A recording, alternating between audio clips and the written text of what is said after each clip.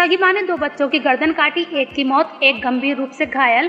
मुरादाबाद के थाना कटगढ़ क्षेत्र में एक कलयुगी माँ द्वारा अपने दो छोटे बच्चों की गर्दन चाकू से काटने की घटना से इलाके में हड़कम मच गया है।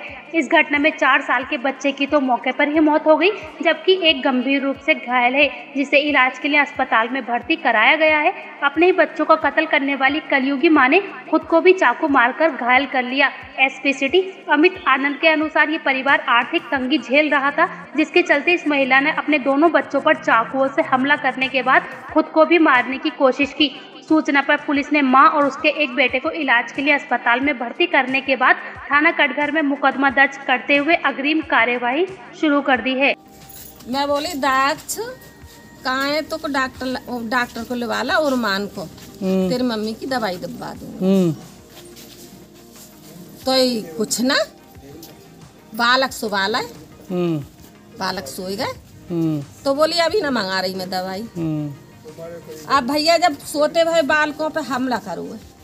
अब क्यों क्या? मतलब कोई वजह रही है? अरे भैया कोई बात ना भाई। कुछ दिमाग तो सही है इसका? ए? और दिमाग बिल्कुल इतनी लक्ष्मी बाबू कि हम तो कबू आधी बात सुनी ना हमने आधी बात कई बात से। अच्छा। अच्छा बच्चों का नाम क्या है उनके? प्रीति नाम तो है ना। हाँ प्रीति नाम है ये जो बच्चा एक्सपायर हुआ है ये क्या है? लड़का लड़की है? लड़का है दो लड़का है दोनों लड़कों की गर्दन काट दे एक को तो ले गई क्या नाम है बच्चों के? बच्चों एक को दक्ष है एक को नक्ष है। अच्छा जो उनकी माता जी उनका नाम क्या है? प्रीति। हाँ। सुबह कैसे मालूम लड़के को दूध पिला रही थी यहाँ पंखा लगा। मेरी भी आग लग गई। जब चीखा उठा बच्चों की पड़ी।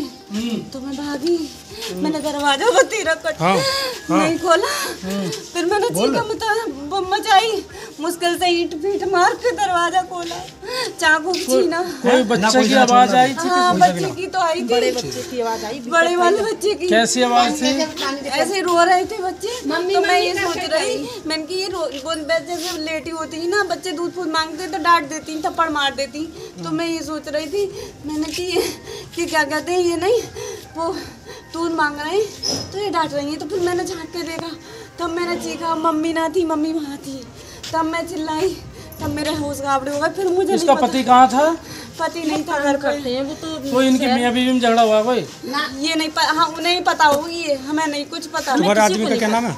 उपेंद्र मेरे का उपेंद्र नाम है और वो तो बाहर गए हुए अच्छा आपने आपने क्या देखा फिर एकदम हाथों हाथ मैंने देखा यही देखा कि वो चक्कू मार रही थी फिर मैंने चक्कू देखा था ये मेरे भी लगा था फिर मैं वहीं ये थाना कटगढ़ क्षेत्र में एक महिला द्वारा अपने पुत्र की हत्या व अन्य, अपने आप को और अपने अन्य पुत्र को घायल करने की सूचना प्राप्त हुई थी। तत्काल मौके पर पुलिस पहुँची। जानकारी में आया है कि इस महिला ने अपने चार साल के पुत्र की हत्या कर दी। अपने आप को और अपने साढ़े छः साल के पुत्र को भी मारने का प्रयास किया, जिसमें ये घायल हो गए। इन दोनों का इलाज इस समय अस्पताल में चल रहा है।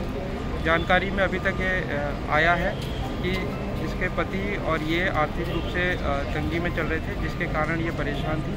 अ, उसी के चलते इसने अपने छोटे पुत्र की हत्या कर दी अपने और अन्य पुत्र को भी मारने का प्रयास किया। अ, उन दो इन दोनों का ही इलाज अभी अस्पताल में चल रहा है। इसमें मुकदमा पंजीकृत किया जा रहा है और भी अन्य कोई तथ्य सामने आते हैं तो उसके अनुसार विधिक कार्रवाई पूरी करी जाएगी